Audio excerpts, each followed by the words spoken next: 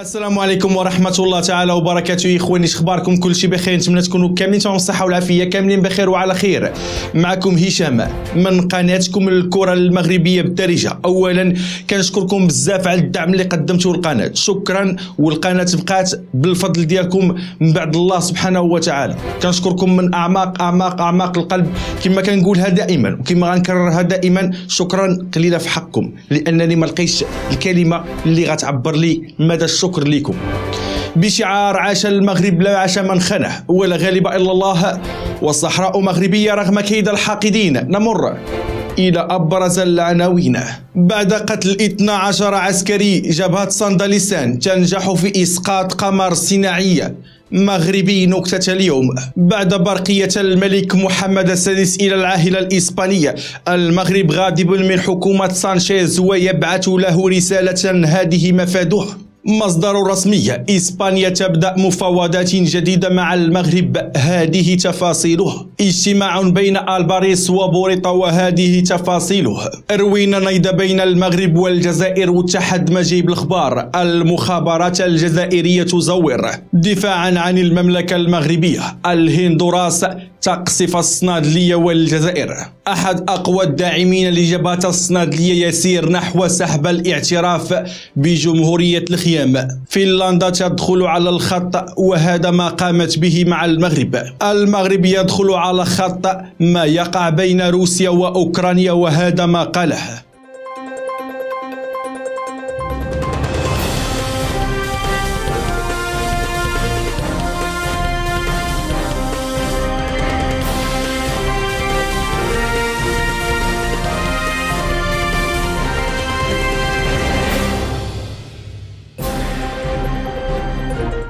مرحبا بكم إخواني الكرام من جديد. أعلنت جبهة صندلسان عن مقتل 12 عسكريا مغربيا في هجمات مختلفة شنتها في الصحراء المغربية. وقال ممثل الجبهة في الجزائر عبد القادر الطالب عمر لوكالة فرانس بريس إنه تم تسجيل مقتل 12 عسكريا في حصيلة هجمات فبراير مؤكدا أن كل المعلومات موثقة في الحلم العشوائي العميق بالصوت والصورة. وأضاف المسؤول في جبهة صندلسان أن هناك خسائر بشرية ومادية في صفوف الجيش المغربية وأن قوات الصنادلية تشن حربا استنزافية تصاعدية مكنتها من إسقاط قمر صناعي مغربي قبل طلوع الفجر بصواريخ جد متطورة. تم تصنيعها بعقول تندوفية صرفة داخل مخيمات الدل والغبرة والعجاج للصناعة الحربية وراكم فاهمين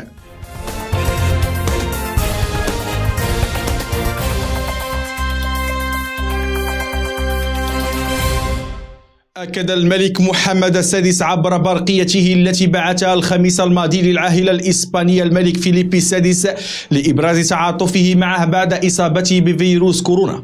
أن المغرب لا يعتبر الأزمة الدبلوماسية القائمة حاليا بين البلدين دفعا للقطيعة بين العائلتين المالكتان اللتان ظلتا تحافظان طيلة العقود الماضية على روابط قوية حتى خلال اللحظات العصيبة بين الرباط ومدريد. لكنه في الوقت نفسه يؤكد مرة أخرى أن أن مشكلة المملكة المغربية قائمة مع السلطات التنفيذية المتمثلة في حكومة بيدرو سانشيز الاشتراكية. وبعث الملك محمد السادس برقية للعاهل الإسباني جاء فيها لقد علمت ببالغ التأثر والانشغال بنبأ إصابتكم بفيروس كوفيد 19 وإنني إذ أعرب لجلالتكم عن كامل تعاطفي معكم وأرجو لكم الشفاء العاجل واستعادتكم الكاملة لصحتكم وعافيتكم. لكن اللافت أكثر للانتباه كان هو اختيار عبارة ذات حمولة خاصة وذات مدلول شخصية إذ قال الملك محمد السادس وتفضل صاحب الجلالة وصديقي الكبير بقبول أطيب تحياتي مشفوعة بأسمى عبارات مودتي وتقديري.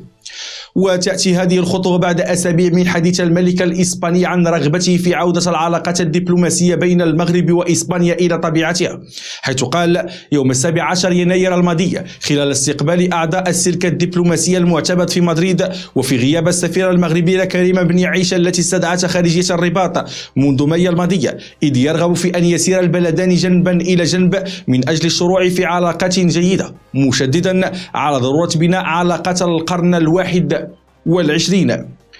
وحينها أبدت الحكومة الإسبانية وخاصة عبر رئيس الوزراء بيدرو سانشيز ووزير الخارجية خوسي مانويل ألباريس تفاؤلا بخصوص إمكانية انتهاء القطيعة المستمرة بين الرباط ومدريد منذ أبريل الماضي غير أن الرد جاء من رئيس الحكومة المغربية السيد عزيز أخنوش الذي أورد أن المغرب يبني علاقته مع باقي الدول على الوفاء والطموح وأضاف الوفاء يجب أن يكون أيضا في قضية الصحراء المغربية. الدول التي فهم فهمت هذه الأمر. تقوم وزارة الخارجية بتسريع العلاقات معه ومن لم يفهم هذا بعد فسيأخذ وقتا كي يفهم في المستقبل. وبشكل بدا فيه المغرب وكأنه يبعث رسالة واضحة مباشرة لحكومة بيدرو سانشيز مفادها أن إدخال العاهل الإسباني على الخط لا يعني دفع الرباط لتليين موقفه.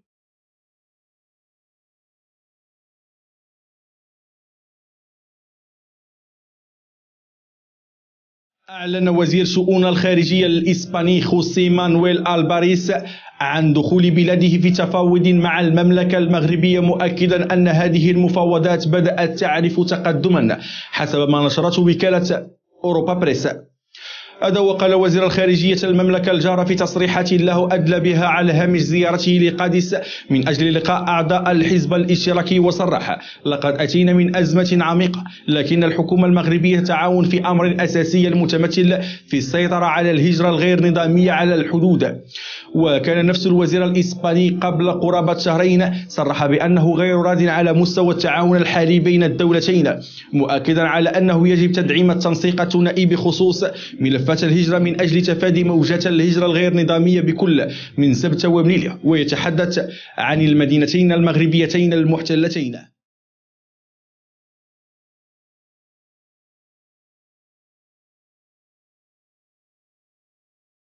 تترقب الحكومة الإسبانية عقد اجتماع بين وزير الخارجية الإسباني ألباريس ونظيره المغربي السيد ناصر بوريطة. على هامش قمة الاتحاد الأوروبي والاتحاد الإفريقي المزمع عقدها يومي السابع عشر والثامن عشر فبراير الجاري بالعاصمة البلجيكية بروكسل في محاولة لطي صفحة الخلاف بين المملكتين.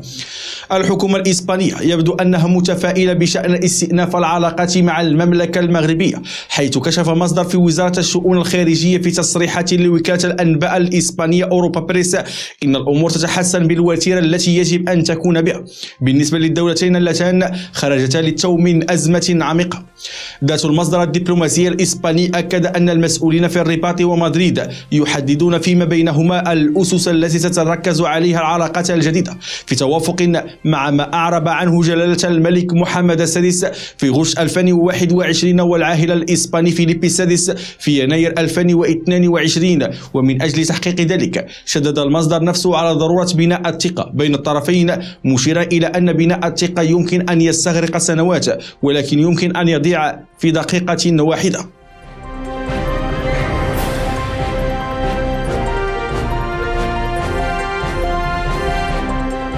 اندلعت حرب من نوع آخر بين المملكة المغربية وجارتها بين قوسين الجزائر.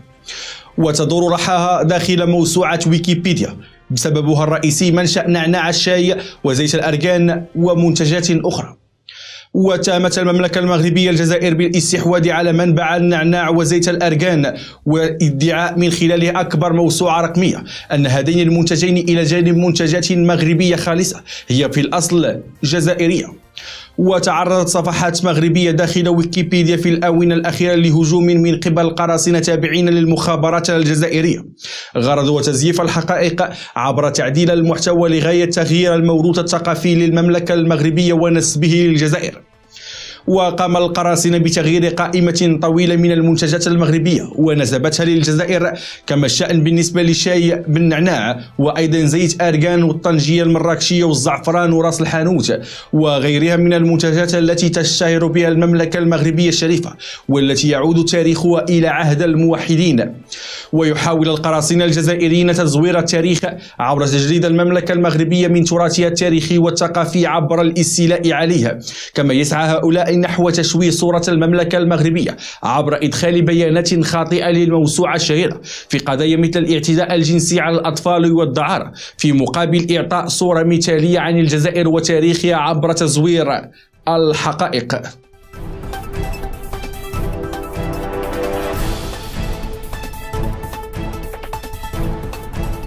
أكدت النائبة البرلمانية الهندوراسية أن بلادها تسعى إلى تسريع الجهود لإحياء التعاون البرلماني مع المملكة المغربية.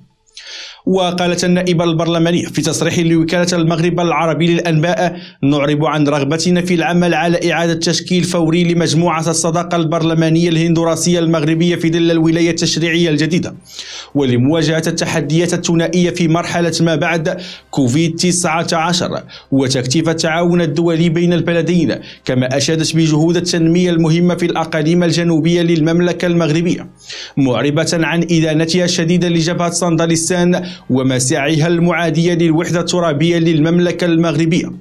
وشددت في هذا السياق ننضم إلى الإدانة الدولية لجبهة الصنادلية الانفصالية التي ترتكب انتهاكات في حق المحتجزين في مخيمات الدل والغبر والعجاج جنوب الجزائر وتقصد الأراضي المغربية المحتلة.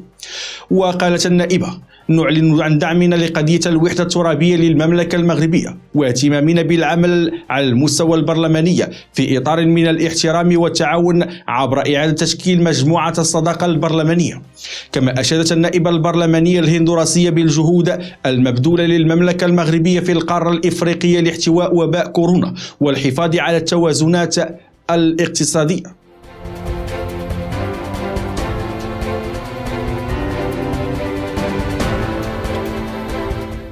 عبر الرئيس الكوبي دياز كانيل عن رغبة بلاده في تعزيز العلاقات مع المملكة المغربية. لتشمل مجالات الاقتصاد والتجارة في ضوء ما تشهده العلاقات بين البلدين من تطور تدريجي منذ إنهاء القطيعة الدبلوماسية التي دامت 37 سنة بسبب دعم كوبا للصنادلية في قضية الصحراء المغربية حيث تخلت هافانا عن لهجتها الشديدة المؤيدة لأطروحة صندالستان رغبة الرئيس الكوبي الجديد في تعزيز العلاقات مع المملكة المغربية جاءت خلال استقباله هشام العلوي الذي قدم له أوراق اعتماده كسفير لجلالة الملك محمد السادس في كوبا. وخلال هذا الاستقبال الذي جرى بحضور وزير العلاقات الخارجية الكوبية برونو رودريغيز كلف الرئيس الكوبي الدبلوماسية المغربية بنقل أطيب تحيات للملك محمد السادس معربا عن متمنياته للمملكة المغربية وللشعب المغربي بكامل التقدم والازدهار. وجدد رئيس كوبا في هذا السياق الإعراب عن رغبة كوبا في تعزيز علاقاتها الاقتصادية والتجارية مع المملكة المغربية مشيرا إلى أن البلدين يدشنان مرحلة جديدة من التعاون في مختلف المجالات. من جانب أكد العلوي رغبة المغرب في تعزيز التعاون مع جمهورية كوبا ليشمل كافة القطاعات الاقتصادية والاجتماعية وكذا الثقافية مشددا على أهمية الاستفادة من الخبرات المتبادلة في العديد من مجالات التنمية الاستراتيجية بما يعود بالنفع على البلدين. هذا وتعيش العلاقات المغربية الكوبية على إيقاع دينامية مستدامة تهدف إلى إرساء أسس متينة للتعاون المثمر في مختلف المجالات بما يتماشى وطموحات البلدين والشعبين. يبدو إذا من حفل استقبال الرئيس الكوبي للسفيرة المغربية أن هافانا مرتاحة لسيرورة تطور العلاقات بين البلدين بعد إنهاء القطيعة الدبلوماسية بعد توتر العلاقات بين الملك الراحل الحسن الثاني والرئيس الكوبي الراحل فيديل كاسترو بسبب الدعم الذي توفره بلاده للصنادلية. هذه القطيعة أنهاها الملك محمد السادس بعد زيارة قام بها سنة 2017 إلى كوبا. فتحت الباب لدينامية جديدة توجت باستئناف العلاقات العلاقات الدبلوماسية بين الرباط وهافانا وختمت سجلات الخلاف على مدى 37 سنة بطابع من المصلحة المشتركة.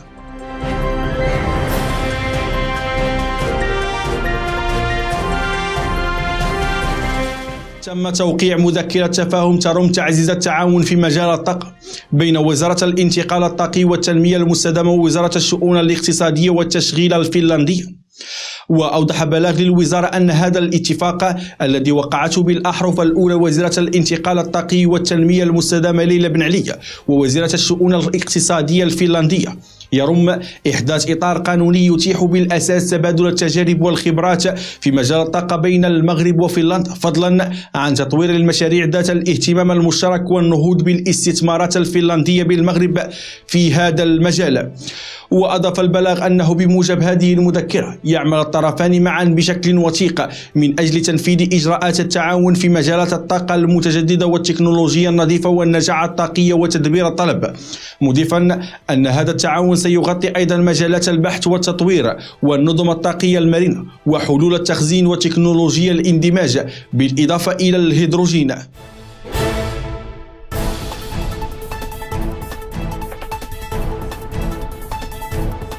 أوصت السفارة المغربية في كييف الأوكرانية أمس السبت كافة المواطنين المغاربة بمغادرة أوكرانيا حرصا على سلامتهم. وقالت السفارة في بلاغ توصلنا بنسخة منه إنها توصي المواطنين المغاربة بمغادرة أوكرانيا حرصا على سلامتهم وذلك عبر الرحلات الجوية التجارية المتوفرة. ودعت السفارة في ذات البلاغ المواطنين المغاربة الراغبين في السفر إلى أوكرانيا إلى التأجيل في الوقت الراهن. إخواني إلى هنا انتهت حلقة هذا اليوم. أتمنى من الله سبحانه وتعالى لأنها تنال الإعجاب ديالكم ما تنسوش. تشتركوا في القناة تفعلوا زر الجرس وما تنسوش كذلك. دعمونا بزر الإعجاب باش نواصلوا قدما إن شاء الله. دمتم في رعاية الله إلى حلقة مساء أو غد إن شاء الله.